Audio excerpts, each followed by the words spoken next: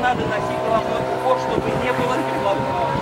С установлением жаркой погоды волгоградцы отправляются к водоемам отдыхать на пляжах. Часто жители выбирают необорудованные и опасные для жизни и здоровья места. Патрульная группа из числа государственных инспекторов МЧС и добровольцев проверила акваторию Волги. Специалисты провели разъяснительные работы и раздали памятки поведения на водоемах отдыхающим.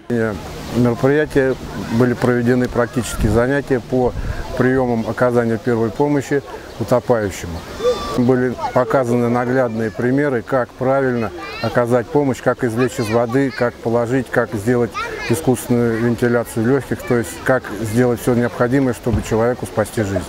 Особое внимание специалисты уделили семьям с детьми, отдыхающим у воды. До граждан довели статистику несчастных случаев. В большинстве из них трагедии с детьми происходят из-за потери контроля со стороны взрослых. Данное мероприятие направлено на то, чтобы родителям а, напомнить о правилах безопасности, о необходимости постоянно следить за детьми, а, напомнить те правила, которые реально спасают людям жизнь. Несоблюдение правил безопасности на воде приводит а, к трагедиям Могут тонуть как дети, так и взрослые.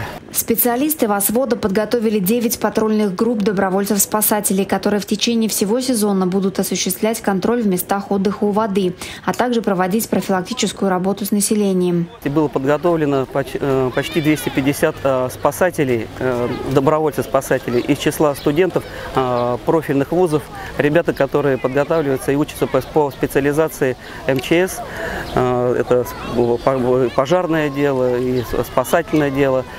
А, данные ребята, проходя а, занятия в ОСВОДе, а, получали необходимые курсы знаний по, по теоретической и подготовке и по спасению утопающего.